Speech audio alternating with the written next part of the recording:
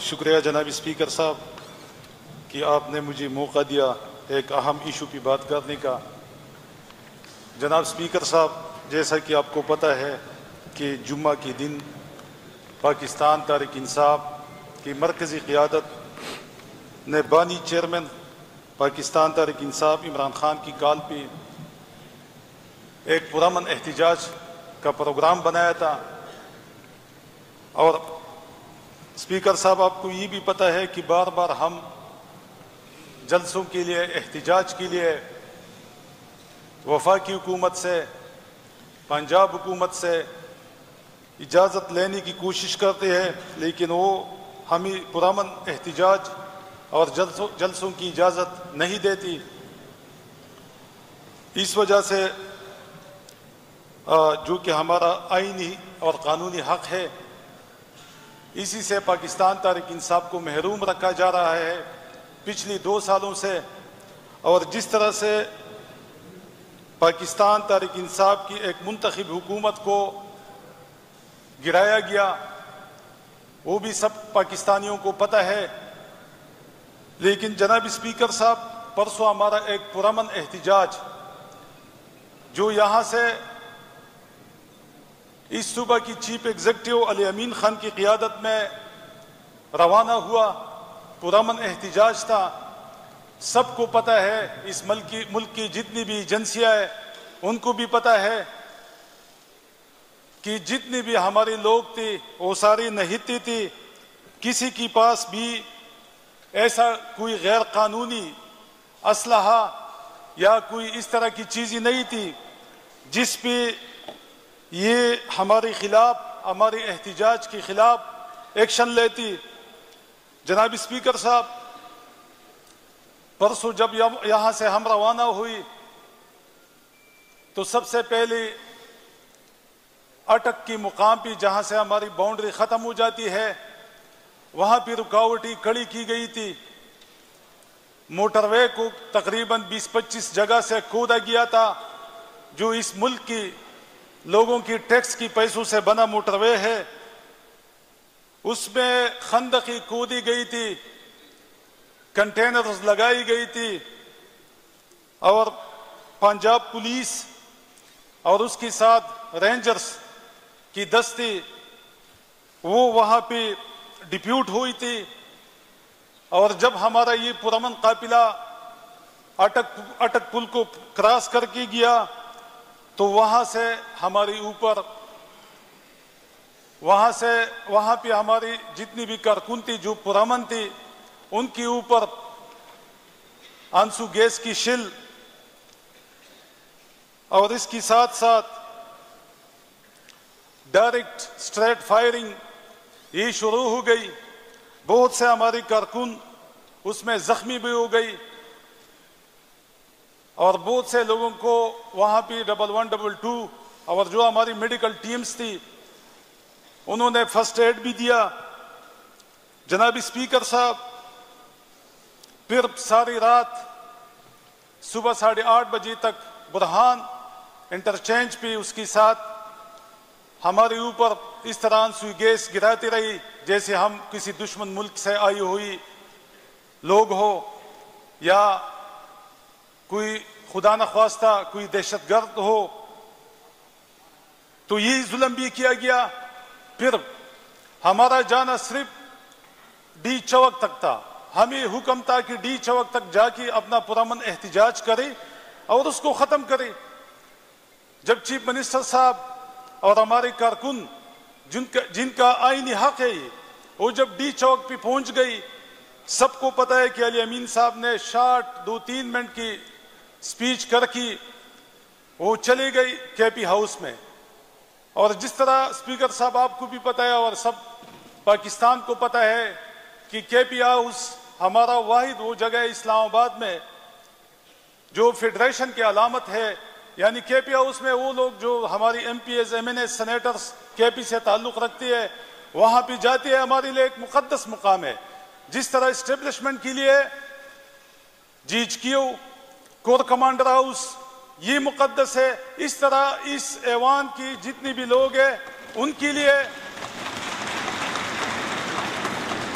और इस सुबह की आवाम के लिए क्या पी हाउस इतना ही मुकदस है, जितना कोर कमांडर हाउस है, जितना जीच क्यू है, या जितना स्टेब्लिशमेंट की और जगह है। लेकिन जब वहाँ पे अली अमीन साहब जाते हैं तो गैर कानूनी तौर पर गैर आइनी तौर पर वहाँ पे इस्लामाबाद की पुलिस और उसके साथ रेंजर्स, वो के हाउस पर रेड करते हैं और हमारी सूबे की एक मुंतखब वज़ीर आला, जो आज तक मिसिंग है, कल से, और दो तिहाई अक्सरियत वाला वज़ीर आला, सबको यहाँ पे पता है कि वो इस सूबे की चीफ एग्जीक्यूटिव है। लेकिन मेरे ख्याल में पाकिस्तान की 77 साल तारीख में इस तरह अलमिया कभी नहीं आया कि एक मुंतखब वज़ीर अला को आप वहाँ पे रेट पे हैं, उसको मिसिंग करें।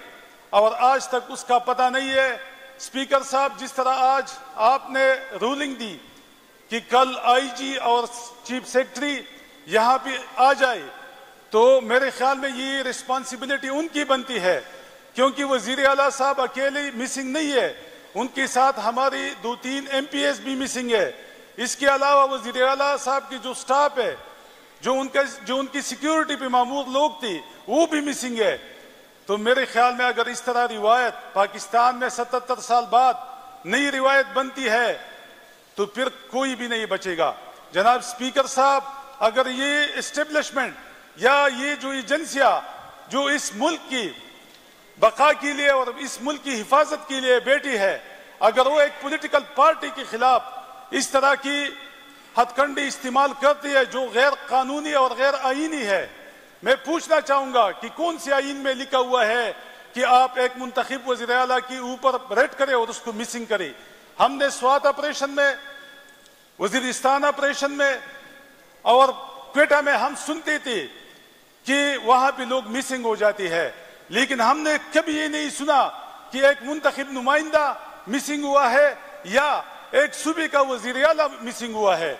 जनाब स्पीकर साहब, ये पाकिस्तान की तारीख में लिखा जाएगा कि इस एस्टेब्लिशमेंट ने जो यहाँ भी मुसलत है पूरे मुल्क में, या तो इस तरह करे कि एस्टेब्लिशमेंट आ जाए और इस सारे मुल्क को टेक टेक ओवर कर ले, कब्जा कर ले सतहत्तर साल में वैसी भी चालीस साल उसने, उन्होंने हुकूमत की है, उन्होंने अमरीत की थ्रू हुकूमत की है तो बाकी भी कर ले, ये असम्बलियाँ खत्म करें।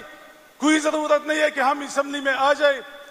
हम असम्बली में वोट वोट वोट से मुंतखब होके, लोगों के वोटों से मुंतखब होके आ जाए तो ये अपनी बंदी बिठा ले, अपनी कर्नल बिठा ले, अपनी जर्नल बिठा दे, अपनी मेजर बिठा दे इन असम्बलियों में।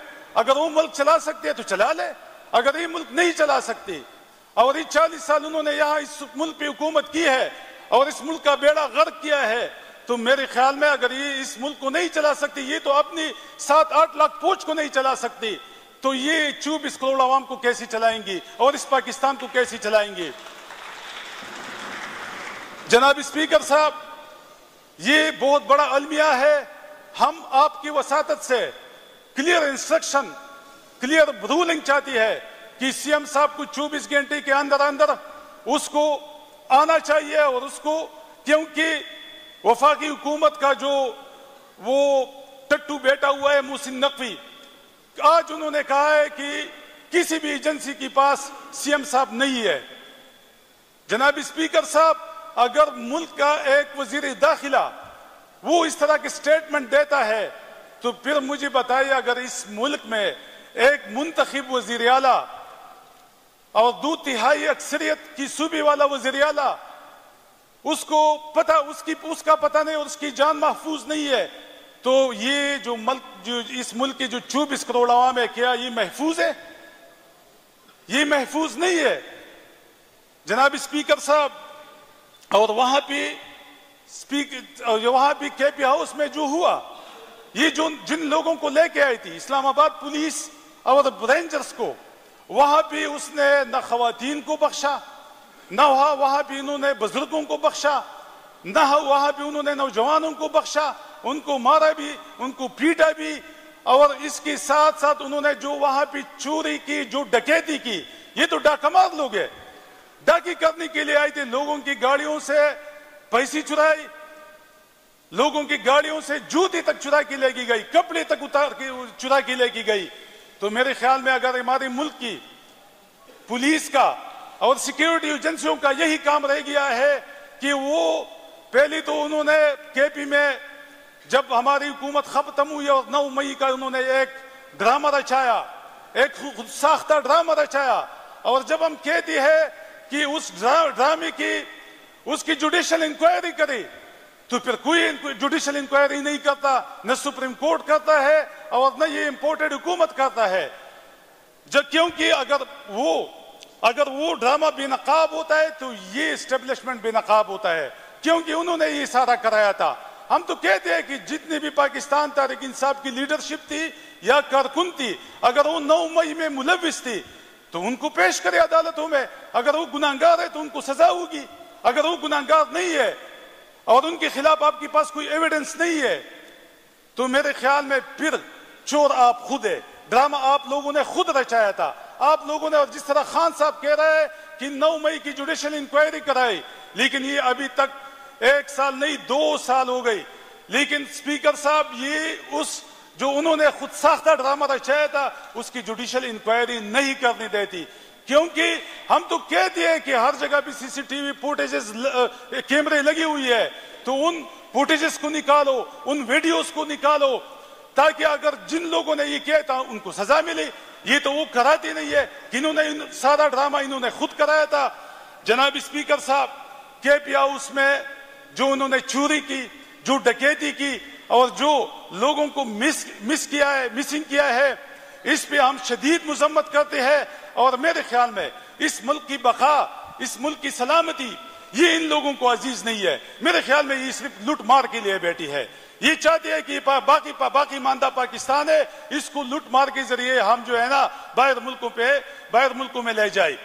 जनाब स्पीकर साहब ये जिस तरह जो हरकत हो रही है और ये जो फेडरेशन आज ना मुकम्मल है क्योंकि एक सूबे का वज़ीर आला मिसिंग है और आज तक कोई भी ज़िम्मेदारी नहीं लेता तो जनाब स्पीकर साहब ये एक बहुत बड़ा क्वेश्चन मार्क है कि कहा है हमारे सीएम साहब?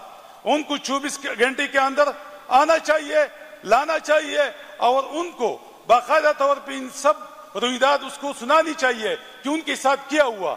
और इस मुल्क की ये लोग जो यहाँ पे मुसलत है, मैं पीडीएम को और मैं अपोजिशन को कुछ नहीं कहूँगा। हमारा इसके साथ कोई झगड़ा है ही नहीं। हमारा जो झगड़ा है वो डायरेक्ट एस्टेब्लिशमेंट ने हमारे साथ झगड़ा शुरू किया और ज्यादती शुरू की है। इस मुल्क की तनजली का जिम्मेदार स्टेब्लिशमेंट है। हमारा इनके साथ कोई झगड़ा है ही नहीं। उसकी वजह यही है कि कल उनके साथ भी यही हुआ था। आज हमारे साथ हो रहा है और कल भी इनके साथ यही होगा। कल भी होगा क्योंकि ये आपस में हमें लड़ा रही है। सारी पार्टियों को लड़ा रही है और जो मराहत है और जो बेनिफिट्स है वो खुद वो ले रही है और हमें लड़ा की इसलिए मैं आज अपोजिशन पे कोई बात ही कर, कर, करूँगा ही नहीं बल्कि अपोजिशन से रिक्वेस्ट करूँगा कि आप भी हमारे साथ, क्योंकि चीफ मिनिस्टर अकेली पाकिस्तान तारिक इंसाफ का मिनिस्टर, चीफ मिनिस्टर नहीं है, वो इस सूबे का मिनिस्टर है। इस सूबे की चार करोड़ आवाम का मिनिस्टर है और आप सबका मिनिस्टर है, अपोजिशन का भी चीफ मिनिस्टर है। वो अकेला किसी का मिनिस्टर नहीं है। जनाब स्पीकर साहब, ये अपोजिशन की भी ज़िम्मेदारी बनती है कि वो भी इनके लिए आवाज़ उठाए, क्योंकि अगर ये रिवायत आज यहाँ शुरू हो गई तो कल फिर ये हर पार्टी की चीफ मिनिस्टर के साथ, हर हुकूमत की चीफ मिनिस्टर के साथ इस तरह करेंगे और सबको बेइज्जत और जलील करेंगी। जनाब स्पीकर साहब, जिस तरह हमारी दो, तीन एम पी एस वो भी मिसिंग है, उनको भी रिलीज़ होना चाहिए कि वो भी आ जाए, आप उसकी भी, उसके बारे में भी और प्रोडक्शन ऑर्डर जारी करें ताकि वो भी आ जाए कि उन बेचारों ने क्या गुना किया था। इसके साथ हमारी हज़ारों कारकुन अभी तक जो हमारी इतलाहात है, कोई दो ढाई हज़ार कारकुन जो है, वो गैर कानूनी और गैर आईनी तौर पर गिरफ़्तार है। वो लोग जो पुरमन एहतजाज के लिए गए थे, वो सारे वहाँ पर गिरफ़्तार है, उनको भी रिलीज़ होना चाहिए। जनाब, स्पीकर साहब, जिस तरह आपको पता है कि हमारी हुकूमत थी मरकज में तो उस वक्त मौलाना साहब ने भी दो दफ़ा लॉन्ग मार्च किया था। और एक दफ़ा जब वहाँ भी बारिश शुरू हो गई और ठंड से वो लोग बेहाल हो गई तो हमारी वो मर्द मैदान इमरान खान जो आज जेल में बेगुनाह बैठा हुआ है, उन्होंने हुक्म दिया कि इनके लिए खाना भी ले जाओ, इन मुजाहरीन के लिए जो धरने में बैठी हुई थी, और इनके लिए गर्म बिस्तर भी ले जाओ। और उस पर अमल भी किया गया और उनके लिए खाना, खाने का भी बंदोबस्त किया गया था, और उनके लिए बिस्तर भी लेके गई थी। बिलावल साहब मुस्लिम लीग, इन्होंने भी वहाँ पे लॉन्ग मार्च किया था। लेकिन उस हुकूमत ने कोई, हमारी जो हुकूमत थी, पीटीआई की हुकूमत, जनाब स्पीकर साहब, उन्होंने कोई कदगन उसके ऊपर नहीं लगाई थी। उन्होंने उनको नहीं रोका था। और खान साहब जब प्राइम मिनिस्टर थी तो उन्होंने खुली दिल से कहा था कि ये उनका लीगल राइट है, उनको आना चाहिए। और वो गई, चार पाँच लाख मार्च हो गई, धरनी हो गई, लेकिन किसी ने भी नहीं रोका। लेकिन आज पाकिस्तान तारिक इंसाफ अपने हक के लिए और खान साहब की रिहाई के लिए पुरान एहतजाज करती है तो आज उनके ऊपर शिल आँसू गैस की शिल बरसाई जाती है, उनके ऊपर स्ट्रेट फायरिंग हो जाती है, और आपको पता है कि क्या क्या वहाँ भी नहीं हुआ, और आज हमारे इतने लोग गिरफ़्तार है। जनाब स्पीकर साहब, ये जो परसों वाकया, कल कल जो वाकया हुआ है इस पे सारा ऐवान गमजदा भी है, गुस्से में भी है, और सारे पाकिस्तान की आवाम गुस्सा में है। पाकिस्तान तारिक इंसाफ, सुबह खैबर पुख्तनख्वा की आवाम अब समझती है कि इस सुबह में या तो कानून की हुक्मरानी होगी या इस्टेब्लिशमेंट की हुक्मरानी होगी। अगर इस्टेब्लिशमेंट ने यहाँ भी हुक्मरानी करनी है और गैर कानूनी तौर पर करनी है, क्योंकि अभी हमें पता चला है कि ये कोशिश करेंगे आर्टिकल 149 की आर्टिकल एक सौ उनचास की, कि ये चीफ सेक्रेटरी को, चीफ सेक्रेटरी को इख्तियार डेलीगेट करे। लेकिन, जनाब स्पीकर साहब, हमने किश्तियाँ जलाई है। हम सियासत करेंगे हक के साथ, सच के साथ। अगर इस तरह की कोई गैर कानूनी हरकत होती है, और इस सूबे को चीफ सेक्रेटरी चीफ सेक्रेटरी को हवाला किया जाता है तो हम इंशाला इसको नहीं मानेंगे। जिस तरह 9 मई की बात, या खान साहब की गिरफ्तारी की बात हमने जदोजहद की है, रूल ऑफ़ ला के लिए जदोजहद की है, जमहूरियत के लिए जदोजहद की है, इस तरह इस तरह इंशाला हमारी जदोजहद असम्बली में भी जारी रहेगी और हमारी जदोजहद वो सड़कों पर भी जारी रहेगी और हमारी जदोजहद इंशाला अपनी कौम को जाके सच सच बताएँगी कि इस मुल्क के साथ क्या खिलवाड़ होता रहा है सतहत्तर साल। तो इसके लिए इंशाला हम तैयार है। ये जितनी भी जतन करी, ये जितनी भी गैर कानूनी काम करी, ये जितनी भी गैर कानूनी एफ़ आई आर करी, ये जितनी भी लोगों को मिसिंग करी इनशाला हम अपनी जदोजहद को जारी रखेंगे, हक और सच की जदोजहद को जारी रखेंगे। खान साहब के साथ हम शाना बशाना खड़े होंगे और इनशाला इस को मंतक अंजाम तक पहुंचाएँगे और इस मुल्क में कानून की हुक्मरानी लाएँगी और इस मुल्क में हकीकी जमहूरियत और हकीक आज़ादी को लाएँगी। शुक्रिया जनाब स्पीकर साहब।